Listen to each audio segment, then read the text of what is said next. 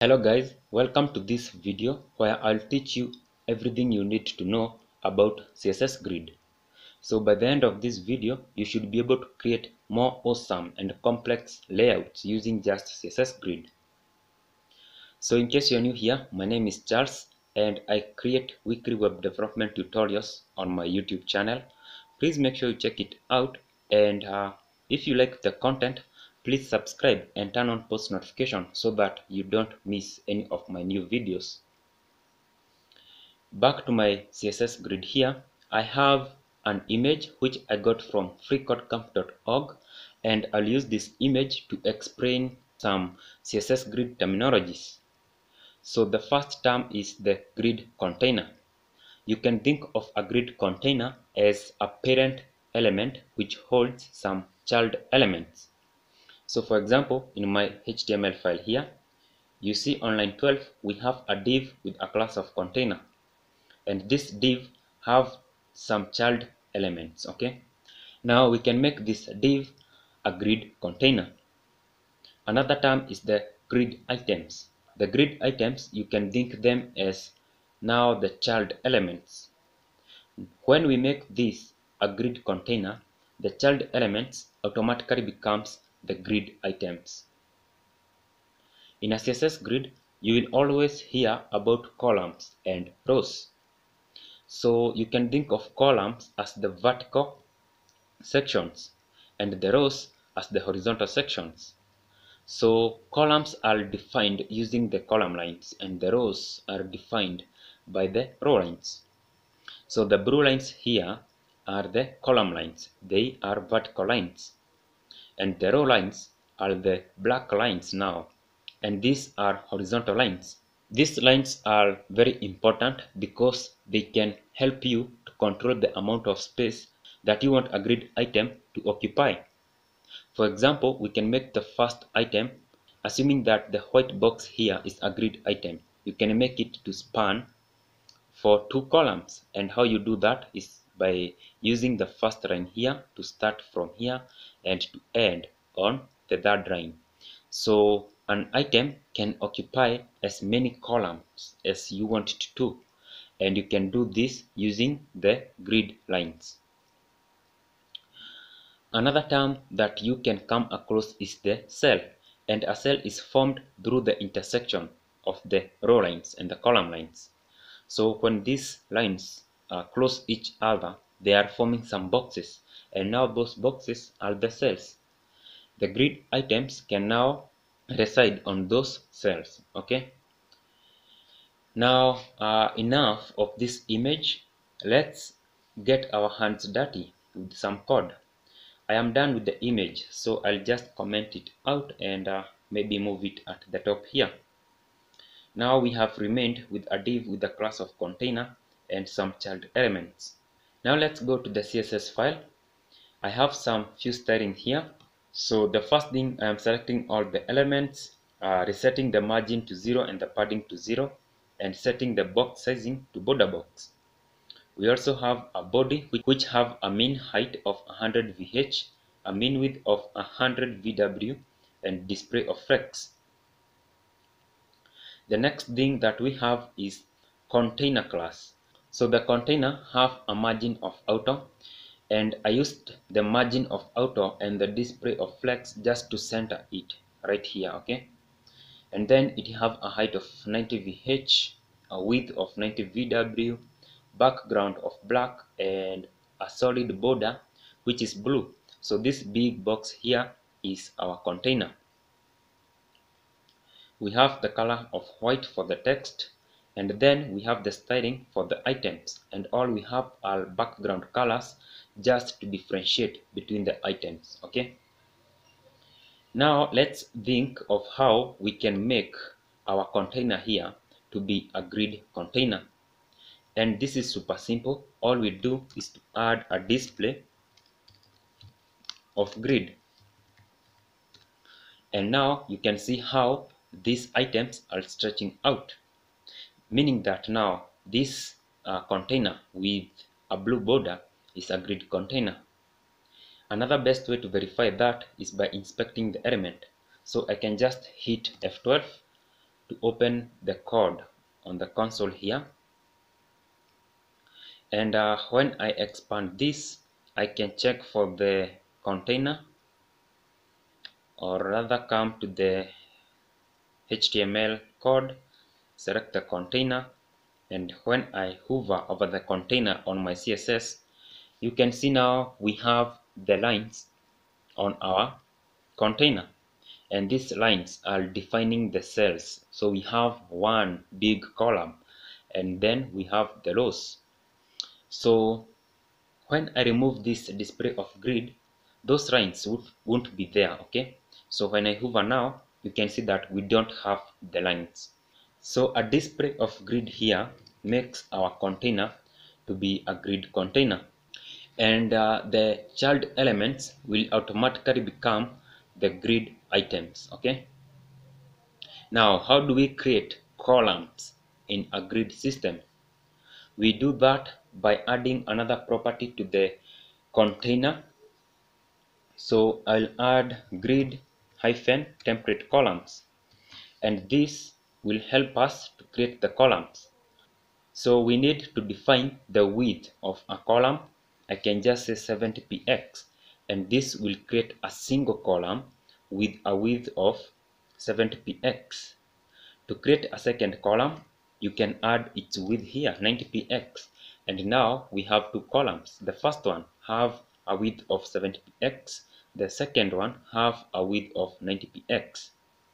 So you can create as many columns as you want, okay? Now, how do we create the rows? So you can see now the rows were automatically added, but they are stretching out. To control the height of the rows, you can just add your own rows. So I can use grid hyphen template rows and I enter the height of a row. So I want the first row to be 50px. Now you see now the first row here have a height of 50px and the other rows are just stretching out. So to control the height of the rows that were automatically added, you can use the grid auto rows. So right here I can just say grid auto rows and then you can enter the height of those rows which will be automatically added. I can say 90px. Now these two rows will be 90px and any other rows that will be added and the one that we have uh, specifically defined is this one right here the first one which is 50px we also have the grid auto columns. In case you have the columns which were added automatically you can also control uh, their size by using grid auto columns. Now let's jump into another concept. Look at our grid system right now. We have these rows and the columns touching each other. So we can control the spacing between the columns and the rows. How we do that? To control the column, we can use the column gap. So column hyphen gap. And then you enter the width that you want to uh, space your columns. So I can just say maybe 5px. And this will add a space between this column. So you can see we have two columns and now we have some a straight spacing between them. We also have the row gap and the row gap will add the spacing between our rows. So I can press this to be 20px and now you see we have a bigger spacing between uh, the rows than the columns. We have a shorthand for this one. So to define both of them you can just use gap property and then the first value here is the row gap. The second value is the column gap. Now when I remove these ones we will still have the same effect. And to, to verify this I can change the column gap to 50px now you see the gap is much wider meaning that this is working. In case you want uh, the rows and the columns. To have equal uh, gap spacing you can just use gap and then give it one value okay? And now you can see both the rows and the columns will have a gap of 20px now let's look at the grid units. So far we have been using px and this might make you to think that we can only use px in a grid system so that is a big no because we can use other units so what i'll do i'll just remove uh, these ones and we remain with the grid template columns and then I remove the values that we have. I want us to use different values. We can set the first value to be auto. So when we set the column value to be auto, the width of the column will be automatically assigned to that particular element. We can use percentage. So the second column, I can make it to be 20%. And this will be 20% of the width of our grid container. So the percentage is in relation to the width of the grid container and not our viewport. We can add another column and this time I can set uh, the column width to be 1 FR. And now you can see now the first column is now auto. It have automatically changed its width.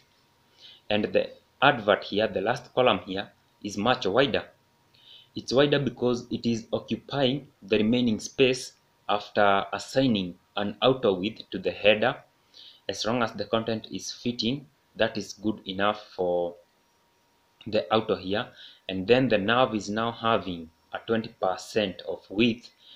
This is the second column and the last column will occupy the rest of the space. Now to properly explain the fr it means the fraction we can add another one so I can just say 2fr and now you see we have uh, four columns the first one is auto the second one 20 percent the third is 1fr and the fourth is 2fr so how the grid system will calculate this is that the remaining space here the advert and the content will be divided into three equal sections.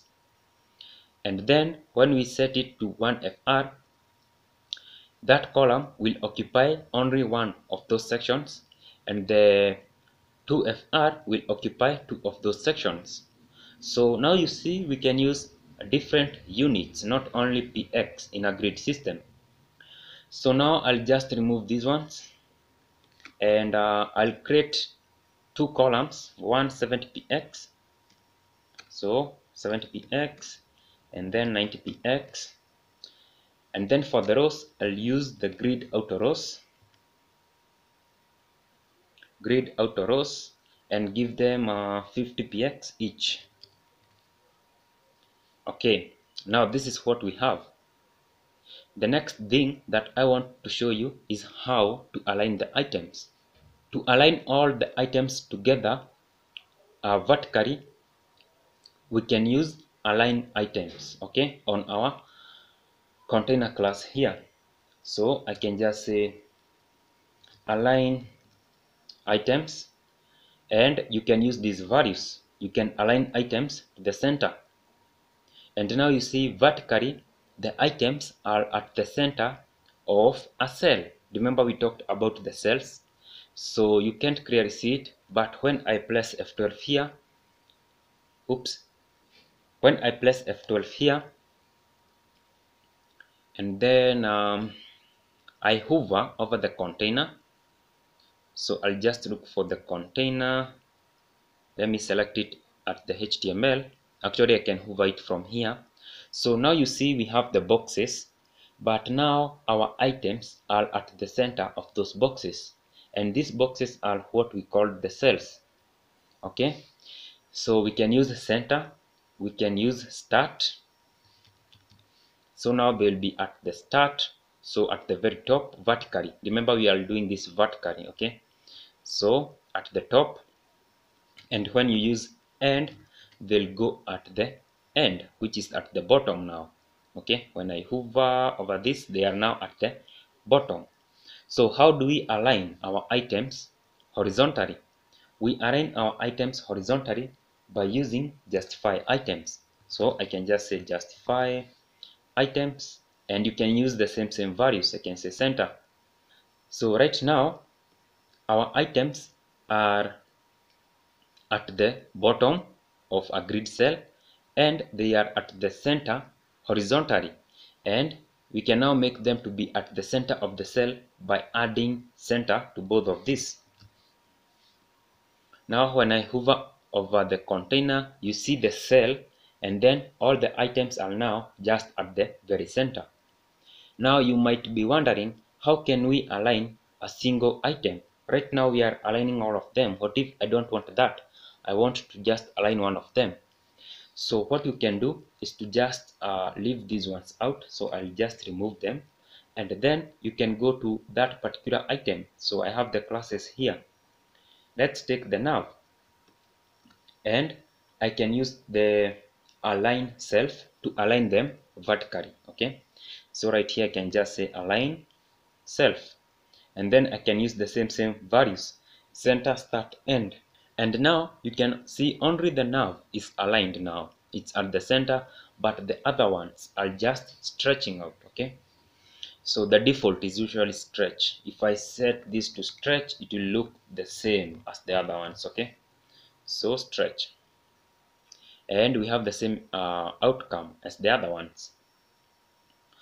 So this is the align self for the vertical. You can use start and the stretch. So let me put it at the center. And then we have the justify self for the horizontal. And I can press it to center. Now when you look at our nav item it's at the center of its cell. But the other ones are just stretching. So that is how we can align the items but the good thing is that we can also align the content itself. And by the content I mean the columns the rows and the whole of this content here okay? So I'll just remove these ones and then go back to the grid container and we can align the content. So when I say align content this will align the content vertically. I can press it at the center and now you see the whole content is now at the center of our container vertically. What about horizontally? Just use justify content. Justify content. And when I say at the center now you will see that our whole content is at the center of our grid here. So there are more values to this. You can use the start and like we saw earlier but we have additional ones. And if you have used flexbox before you are aware of these ones. We have the space around and this will create the space around vertically around the rows and around the columns. You can just say space around too now you see we have the spacing between the columns and also between our rows you can use space between space evenly. So space between and you can also use space evenly. And that is how we align the content itself. Now let's move to the next uh, topic. And this time now we are going to talk about how we can control spacing using the grid lines. Remember we talked about the row lines we talked about the column lines. So for example we can make the header to stretch out all the way to this point. So how we do that? We go to the individual item for example the header and we have these properties. Grid column start and now you can define the line which you want our uh, item to start. So I say line 1 so remember the first line is here the second line is here. So right now this is occupying the first line to the second line. We want it to go to the third line up to the third line okay? So we can have another property here grid hyphen column end and we specify the last line which is 3 Now look at our header, it's occupying two columns. When I hover over this, you can see now the cells are still there, but it's occupying two of the cells. So this is awesome. Grid lines are so powerful. You can create awesome layouts with them. We have a shorthand, so I can just remove everything here and I can just say grid hyphen column and to specify the first line just place it the first line there and then use a stroke and the last line there. So now you see we have the same outcome. So the shortcut is much better and uh, if you don't want to keep on counting the lines you can use the span here. So you can say span but this time you will say the number of columns you want it to span. So i'll say span 2 because we are spanning for two columns okay? So i think this is now much better than 1 over 3 because for the 1 over 3 you need to count the lines. But for this one you just uh, you just identify the line that you want to begin and you can just say the number of columns you want it to span. So we can make the advert to span for two rows so let's go at the advert here and then we can use grid hyphen row. And now we can specify the line that we want the the nav to start. We want it to start at line 2 so right here i'll say 2 stroke span 2 we want it to span for two rows. And now look at our nav okay we were doing for the nav not the advert. I can simply take it to the advert. And when you look at our advert it's now spanning for two rows. But it is beginning at the first uh, column. We want it to be at this position where nav and content is. So we can set the grid hyphen column. And we want it to begin at the second column and to just span for uh, one column so span one. So now look at our advert. We have the header at the top the advert it's at this point. So span of one is not a must when we are spanning for only one uh, column. So I can just remove it and we have the same outcome okay? So grid column we want it to begin at the second column. And then we have our rows here which is spanning for two rows we can make the footer to go all the way to this point. So I'll scroll at the footer.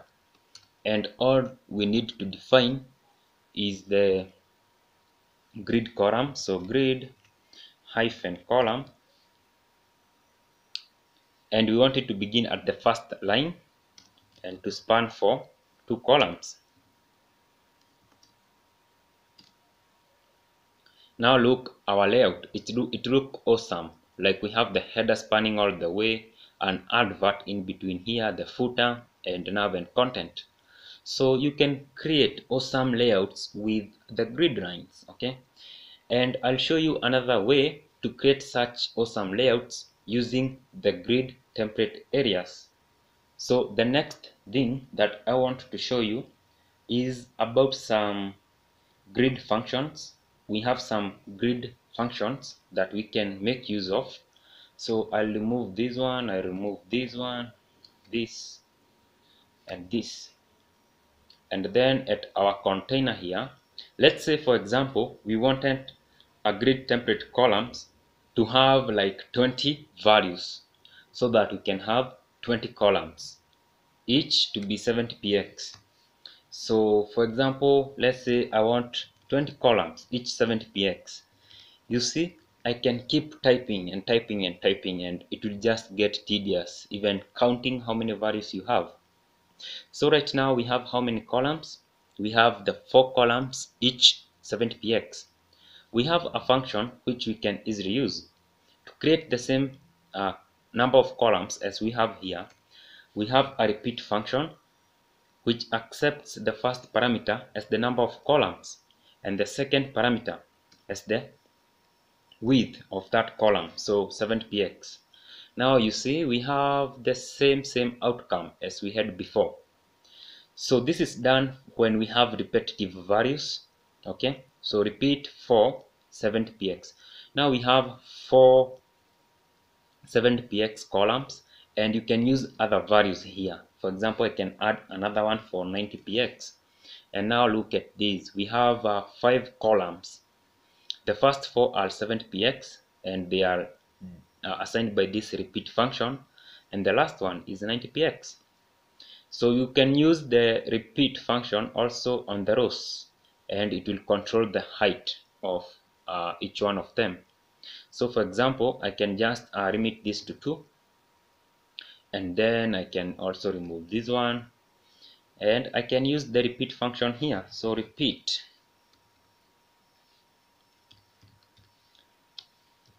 maybe I want each of the rows to be 50px and uh, I want how many rows? Maybe four rows. Each of them to be 50px so a comma and a spacing. And also remember to change this to grid template rows.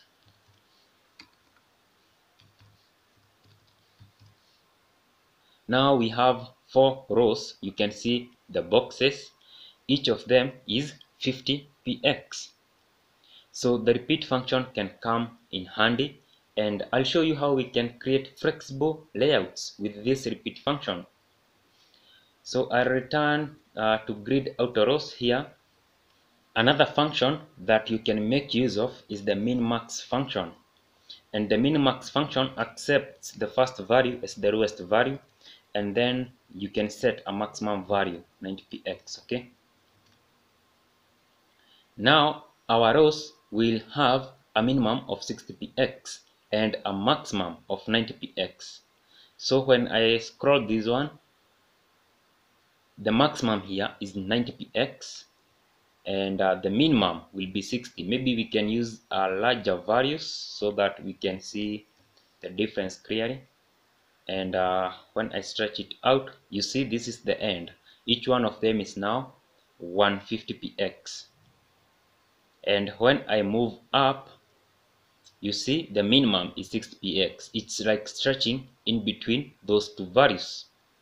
So right here you can use minmax both on the grid template columns grid auto rows. You can use on uh, grid template rows and so on okay? Now let me show you how you can create flexible layouts by combining the repeat function and the min max function here so I can remove this. And then at the grid template columns I can use repeat. And then inside here we can have min max the function. We give a minimum of 60px and a maximum of 1 fr remember the fraction values in css grid which takes the remaining space. So now you see our layout here it's already a kind of flexible. The minimum it can go is 60px the maximum is 1 fr but uh, the repeat function come with some useful uh, parameters or values and that is auto fit and auto fill. So right here I can just say auto hyphen fill. So I can see the columns are stretching out all the way uh, I think we can still control them with the grid auto rows sorry I removed this one. We can return it grid hyphen auto rows and we give it a value of 70px so I'll zoom out so that you can see the whole of the line here. The grid template columns. So I can change the layout for this one to this one. And you see what the autofill does here when we have any available space on our columns we add the items automatically. And uh, when we exceed the spacing like we have a lot of space empty columns will be added okay? So here there will be empty columns. So when I come here and uh, go to the elements hover over this. So just take a look we have empty columns, we didn't manually add them. They were automatically added because we have so much extra, extra spacing. But when we have small space, they'll just uh, move to the next row. So that is what is happening here. We have another value which is the auto fit and this is the one I mostly like. When I use auto fit, come back here, the difference is that they are stretching. You see, when I hover over this, the autofit is not adding empty columns. They are just stretching to the to fit the available space. But for the autofill, it will add empty columns when we have extra spacing. Now the behavior is the same in case we have a limited space. So my console disappeared. I guess I'll have to do this, cancel it, uh, go back to my view here and then if I inspect you can see now they are flowing to the next row as with autofill. So autofit and autofill are awesome values that you can use to create flexible layouts like so. Autofit will stretch the items when we have uh, extra space while autofill will add empty columns. I like autofit more. Tell me what you like at the comment section. Now let's move to the last uh, topic about the grid template areas. So with the grid template areas, we can create awesome layouts like we did with the grid lines. So I'll remove everything here and manually define the columns. Okay. So right here, I can create uh, three columns. The first one to be 70px, the second one to be 1fr and the last one to be 70px and for the rows I'll uh, define them as grid template rows and then we can have uh, three rows the first one can be 70px the second one can be 1fr and the last one can be 70px so they are like uh, similar here. And uh, I will add another property the grid template areas. And with this one we can give our grid cells different names and how we do that we can use this quotation for the first row. And uh, the first cell here can be a header. The second one header. The third one header. So here we have one row. And the first column for the first cell we have the header. This is the second column. And the third column. And then we can go to the next uh, row here. I'll start with nav here. And then the central one will be content. And the last one here can be advert. And now at the very bottom we can have footer footer footer so the only rule to assigning the names is that uh, you must have a straight lines. And uh, since these are just individual there is no issue. But you can have a nav here and a nav here okay? Like jump some names and then assign it somewhere else okay? So you can have them vertically or horizontally or they can just be individual okay? So now um, let's assign our header to this area. So I'll go to the individual item here for the header. And I can use the grid hyphen area. And when I set the area to header it will occupy the whole of this area. So you see how the header is stretching out? So this is really awesome. And we can do the same for the rest so I can assign the grid area for the nav to nav. And now look at our nav. It's right here. We can go to the advert give the grid area to advert. And the advert will be at the this end.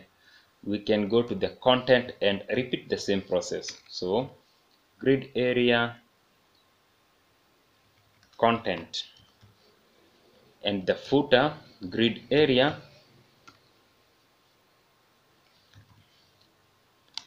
to footer. Now look at this layout that we have here. It's really awesome. Like when i span the whole page here. This is like a real web page uh, where we have a header the nav it's at the side we have the content here we have the advert on the other end and the footer and we have created this using the grid template areas so let's say you want the nav to span all the way to the header and to the footer you can easily change that by coming to our grid template areas and assign this one to nav now look, our nav is spanning above all the way to the header here. And you can do the same for this one. Now, I told you the only rule is that you must have a kind of a straight line. Now, this one uh, vertically, it's just straight. So the nav is all this. And then you have the footer, the header, the advert, the content.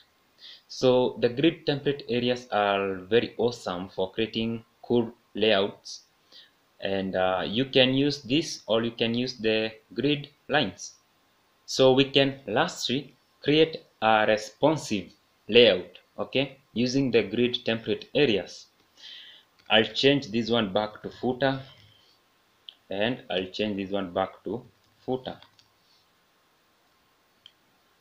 So what I can do uh, oops this is not supposed to be footer this is header. Okay perfect. So now we can define at media queries right here so right here I can just say at media and then oops, at media and then in brackets uh, I will use the max width. It's more relevant here.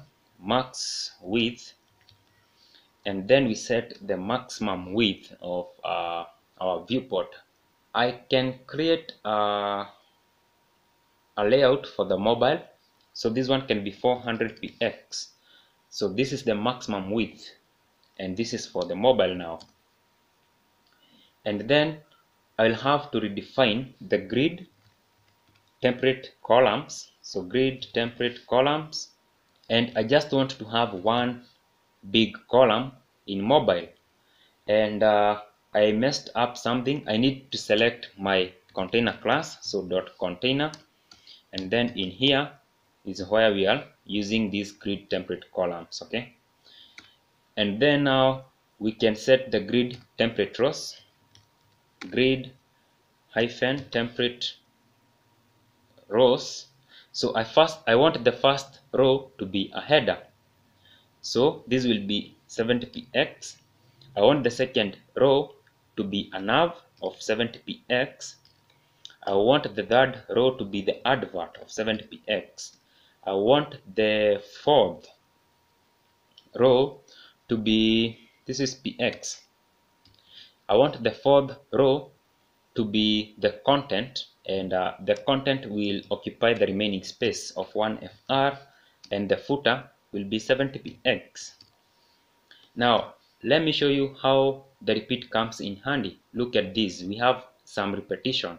So I can simply remove this and just say repeat. I want three rows, each one to be 70px. And we'll have the same uh, outcome as we had before, okay? Now what I can do is to define the grid template areas. So grid template areas and then I'll enter I use the, the quotes here. The first one is the header. I want uh, the second one to be advert. Nope, I want it to be nav. The third advert. The fourth uh, content and the fifth to be footer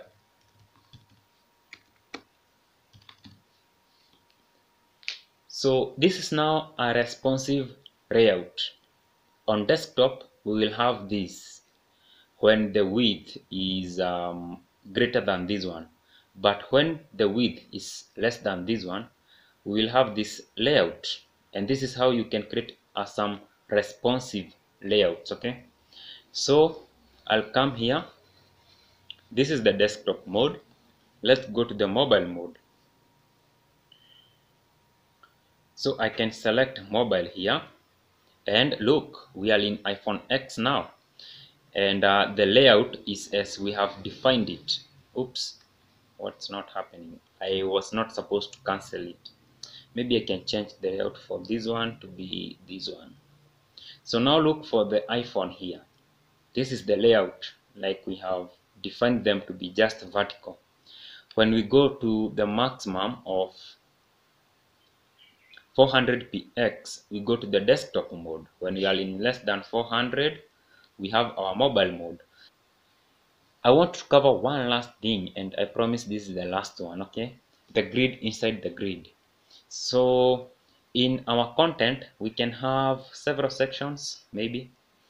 So I can go to the HTML and inside the content I can add some more divs okay so div right here I add another div maybe we can add three of them div and uh, uh, the values here can be first.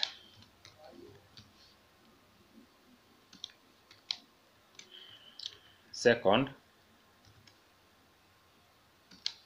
Third the content here I said the value instead of content. Is that written this way. No you don't have a T. So in the content we have some more elements.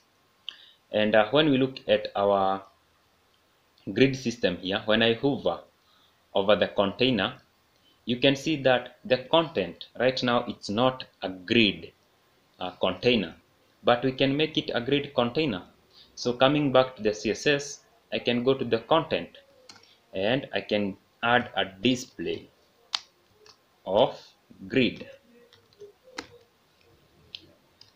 And now when i come back here and hover you can see now the content is a grid container and you can use all the properties of the grid container that we have used before so this is awesome. You can create some more complex layout inside this one which is really nice. For example you can set the rows uh, the columns grid template columns. We want two columns. The first one to be 90px the second one to be 1fr now let's look here. Now see we have the second column occupying the whole of this spacing and you can verify that by adding maybe some background color.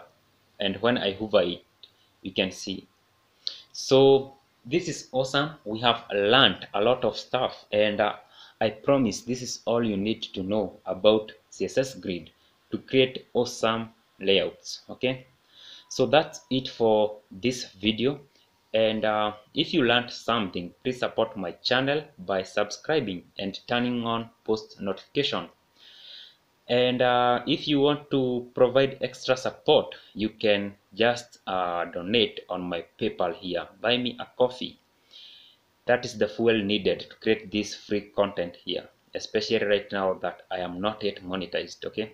Also watch some of my previous videos. I really appreciate that because i need that watch time. Anyway guys that's it for this video and i'll see you next